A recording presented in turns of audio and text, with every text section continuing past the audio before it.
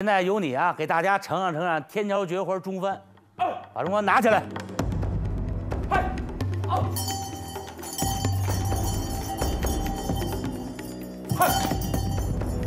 大哥叫单筋独立，哎，这叫金鸡独立，喊哪儿上哪儿。好，这叫二郎单身，牙叼过来。哎，张老师，您看这好不好？相当好，相当好，相当好，哎，非常漂亮。说实话，这是我头一回在室内看中翻，因为限于我们这个场地的限制啊，这个棚应该说很高了，已经到六米了。对但是我们这个小翻子呢都没有足够的空间啊，让大家完全的欣赏我们中翻的技艺。中翻呢，它现在是我们的非物质文化遗产，应该讲呢，从过去街头的哎这种杂耍技艺，哎现在哎逐渐的已经演变成了文化传统当中的一部分。今天呢，我们就请哎富士的。咱们说富士艺术团的团长，哎，和他的徒弟们跟大家聊一聊中翻。那边喊叫到这儿的周了，那张宝忠又把大刀了举了，朱国权。老北京的玩意儿各种各样，其中一种最华美又最富有仪仗表演特点的绝活，就是老北京的天桥中翻。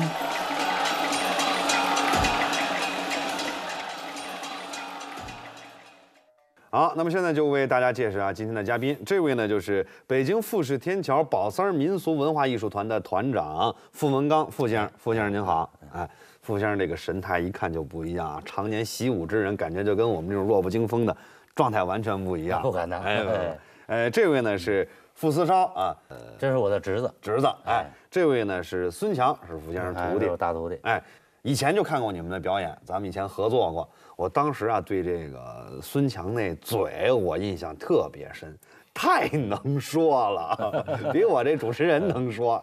尤其是在现场这一表演时候，配合配合你的表演，哎，他在这说着，你感觉啊，真是啊，那个原汁原味的浓浓的那个天桥那个文化那个劲儿就出来了，是吧？对中翻来源于大清朝，来源于大清朝，当时是礼部长一司大执事。礼部长一司大执事。什么叫做礼部啊？什么叫礼部？介绍介绍。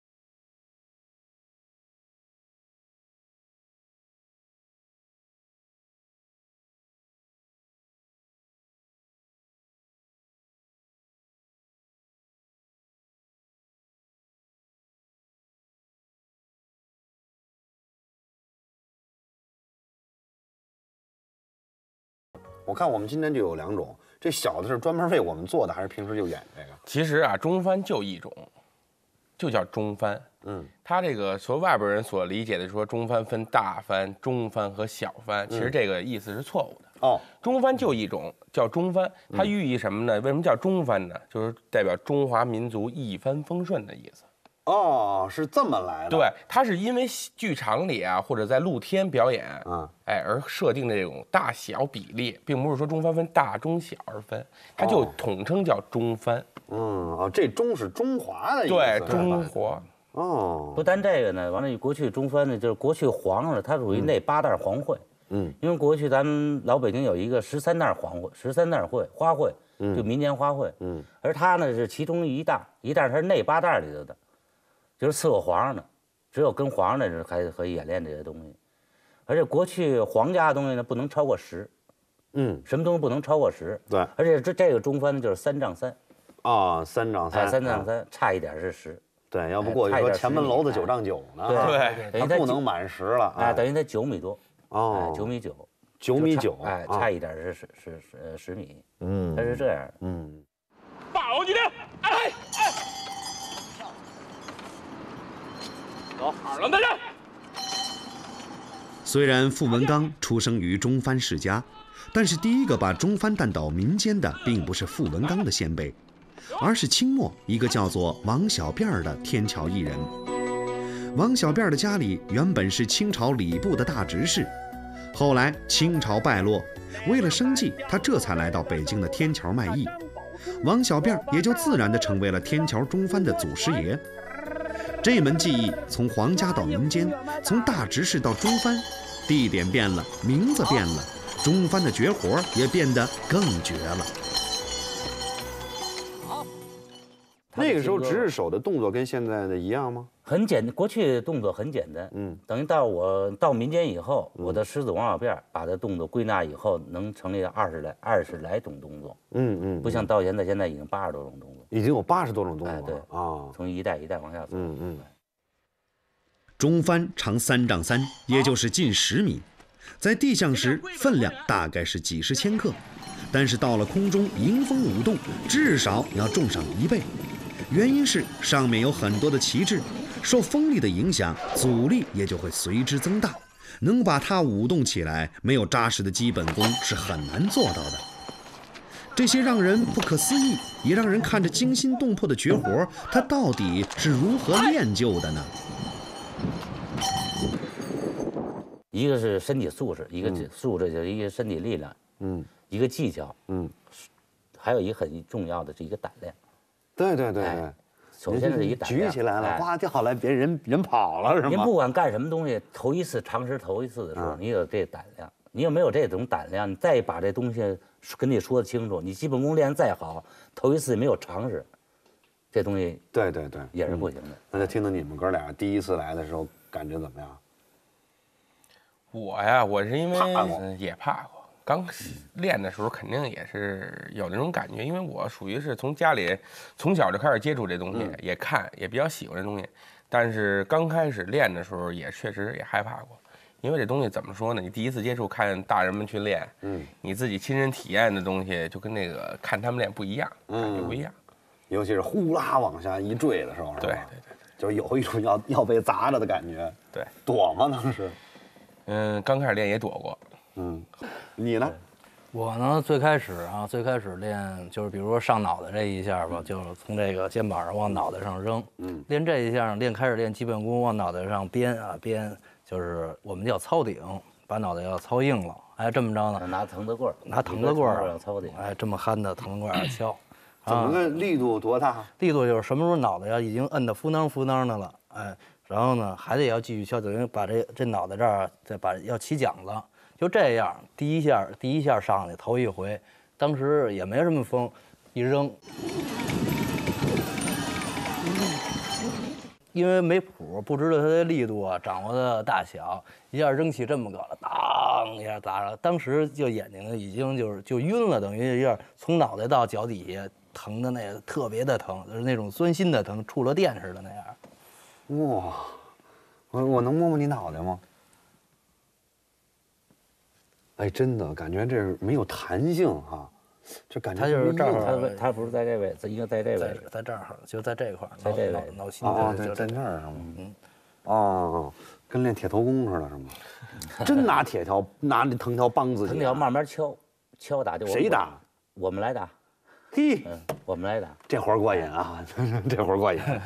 这一次打多长时间啊？呃，基本上它在于它承受力，它的承受力，但是也不是特别重，啊，从轻到重，慢慢来、来敲。嗯。刚一开始并不难受，嗯，什么打糊弄了以后再粘才疼呢，才难受。打糊弄了，哎，就把这个肉皮儿啊，皮跟肉咱皮跟肉就等于那脑门儿，它它一就一层皮，嗯没有什么肉，跟骨头给打离了骨，打个离了骨以后，让它消了肿，消了骨再打，往里边出一层，不像您说讲一般人讲的外边一层讲的，并不是外边一层啊，里边这膜就厚发厚，啊就硬了，里边硬了就起来了。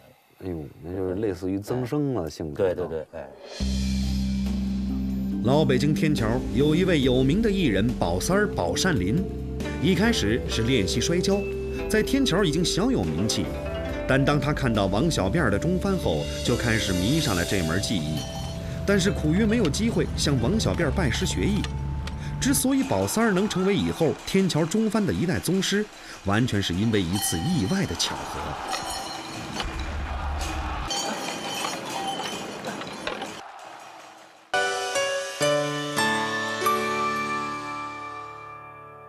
那当时王小辫儿是很痛快的收下您师傅了吗？不是他不是很，因为我师爷呢您师爷对，嗯，救过王小辫儿，帮过哦王小辫儿，嗯嗯嗯，这个有一个小故事。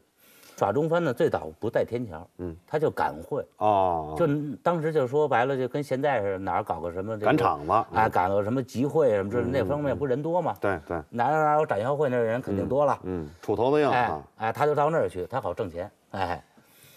完这样呢，完我师爷正好路过家的时候，这过程当中呢，从等于从交场学完交以后，他得回家。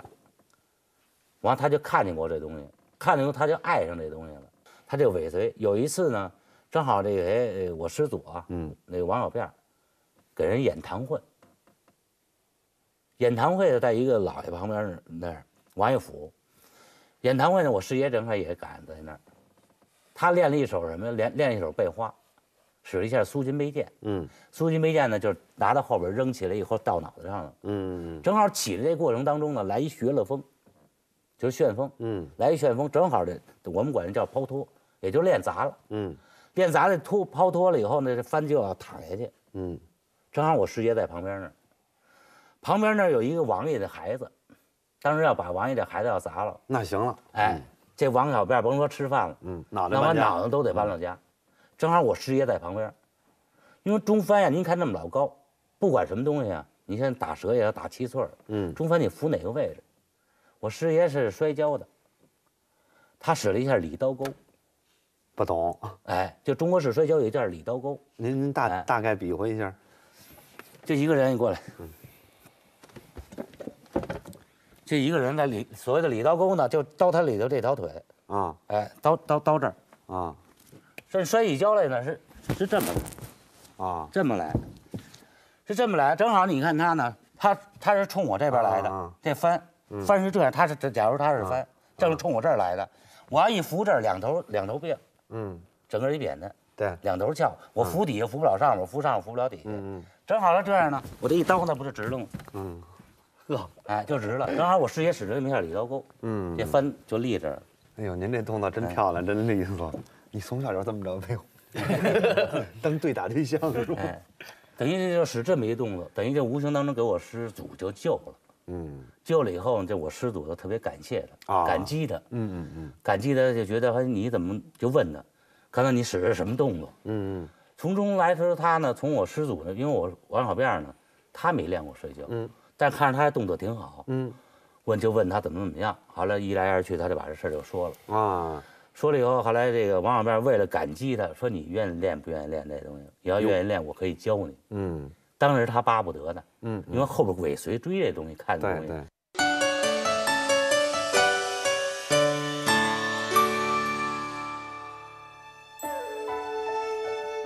宝三儿就这样学到了王小辫儿的真传。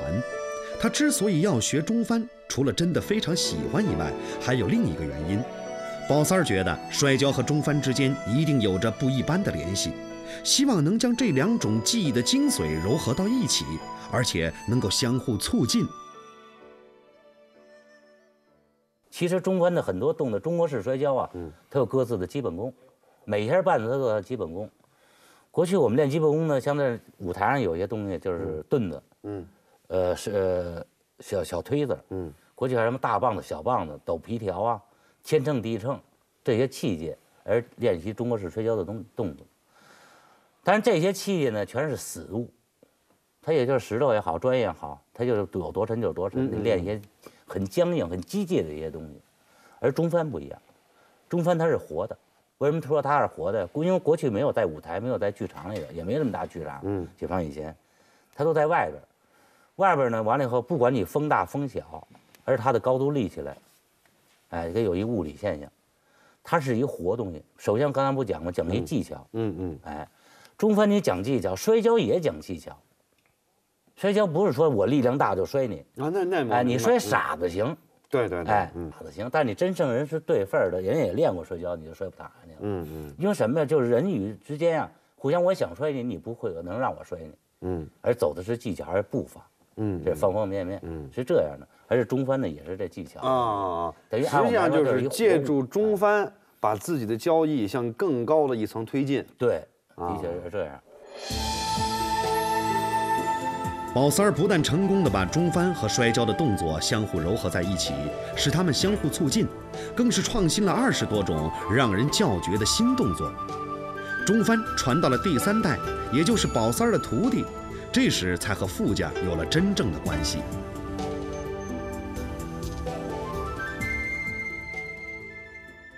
我可以给大家讲讲，这个过去呢，等于是教会徒弟饿死师傅。嗯过去这老艺人呢，他有点儿老八板儿。嗯，过去的那讲的这明白话，哎，嗯，比较保守。保守。但是反过来呢，这这种这门艺术呢，必须还要传人传授下去。你像我师爷一共收了四个徒弟，嗯其中我大师爷大就是他大徒弟陈金泉，二徒弟马贵宝，我父亲杭老三傅顺禄，我还一师叔叫徐茂，嗯用他们哥四个，都刚一开始磕头的时候都是学的是中国式摔跤，嗯哎，后来呢以后呢，我随着我师爷岁数大了以后，把这东西得找一传人，最后就传给我父亲，哦。哎，但等于一脉单传，啊，从王就是四个徒弟，但是这个使法儿的技术呢哎，只传给传了传给我父您父亲哎啊。从我师爷那儿呢，就是从我师祖那儿也是一脉单传下来的，等于到从王小辫儿到宝三爷到我父亲，嗯嗯，这一直是这样，一直到等于是等于我们我们哥几个逐渐大了以后，我还一哥哥一六哥叫傅文友，他比我大一点，我们哥俩后来把这东西继承下来，哦，是这样的。所以说刚才讲的都是一脉单传，嗯嗯哎嗯，真正把这中番继承下来，嗯。就是连说呀，还有他的理论东西啊，嗯。还有后来要创作很多的东西。刚才我讲，嗯。我的师祖有二十几个种动作，嗯。到我师爷那儿三十多种，四十来种，嗯。等于现在到我们这儿，嗯，我随我父亲我们一块儿又创作，等于现在八十多种动作。嗯嗯耍中翻是门力气活，但并不是出傻力、卖傻劲儿就可以完成的，更需要的是智慧、技巧和勇气。从父亲手里继承了中翻之后，傅文刚和他的哥哥傅文勇一起专心研究。现在中翻的各种动作已经达到了八十多种，甚至鼻子和牙齿也能够用来耍中翻。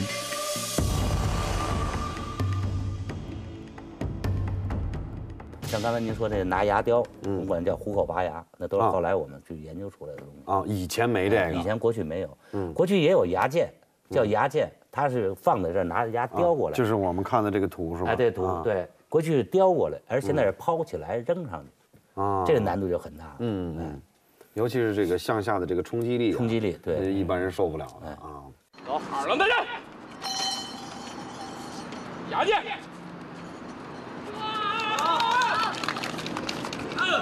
我没想到什么呢？人家能用牙，这个把中帆接住，甚至能用鼻子把中帆给挺住。我当时觉得，呀，这东西要砸一下，这不惨不忍睹啊！这个你那牙不是这么砸出来的，我这牙不是练中翻，是练摔跤撞的，练摔跤撞啊！这牙和鼻子怎么能接住那么沉的东西呢？就是慢慢磨练呗。这个开始要想练这个基本功，得练好几年呢，最起码得三年以上的基本功，啊，才能练这些动作。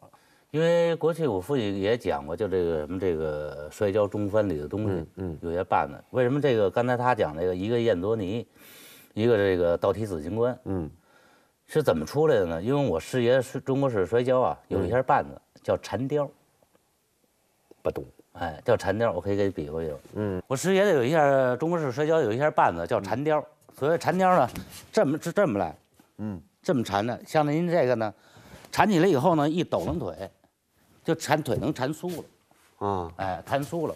而您刚才讲那个那个倒踢死人关呢，也是这个动作，啊把这翻搁在这后边儿，啊！踢起来。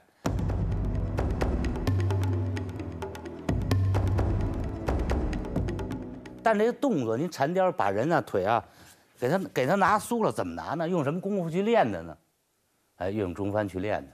哦，反过来，那个燕子多尼呢，是破缠雕这些绊子的，叫什么？叫荡腿？你看我一缠他，踢他一踢腿，我就缠开，给我耷耷耷拉开。啊你他别跟我较劲，越较劲他越越越悬越难受，他越较劲我一窝着他他越得趴下，腿别抬起来。他越较劲他越受不了，但是他要一踢腿呢，我就空了，嗯踢腿，他一踢腿我就没有了，啊。哎，这两样动作是从这儿算出来嗯嗯嗯。也要荡的把中方哥这往这一荡嗯嗯嗯。二零零五年中方被评为国家级非物质文化遗产。这使得傅文刚傅文勇两兄弟对于中方的继续传承看到了新的希望。虽然有了国家有关部门的支持，但是要找到合适的人来继承这门绝活，却不是件容易的事情。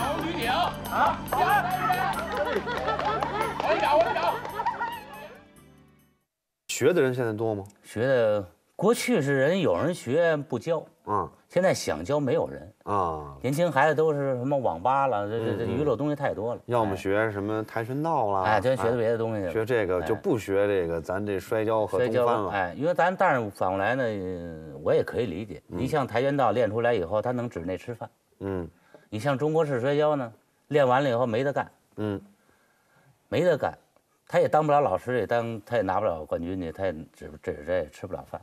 嗯，你们俩的下一代还会让他练吗？应该是让他练。啊，你你你这事儿上没什么大发言权。对了，我想起来了，你姓傅啊，这事儿得问孙强啊。嗯，我想应该收几个徒弟吧。嗯，收几个徒弟，然后呢，从中嗯物色好的，然后呢，把把这个中翻这技术教给他，还有一些摔跤，哎，从这八个师兄弟里边挑呗，谁生了儿子，扒了呗。对对对对，其实呢，大家可能听半天也听明白了。我们一说到中翻呢，他就不能不说摔跤。可是，一说摔跤呢，也离不开中翻。但是呢，我们的节目只能一集一集的给您播。今天呢，先请几位跟我们说说中翻。明天大家请早来欣赏一下中国式摔跤，同样也是由傅先生给我们主讲主演。今天觉得那俩动作看完之后不过瘾，希望明天能够看到更精彩的。好了，我们明天再见。好，谢谢。好。勾别搓拿动作繁复而实用，它是力量与技巧的统一，讲究一巧破千金，一力降十会。这就是中国跤，一个曾经让很多年轻人着迷的竞技。如今，这个传统体育项目却正在淡出我们的视野。天桥绝技摔跤究竟是一个什么样的竞技运动？宝三儿宝善林传人为您展示中国跤的魅力。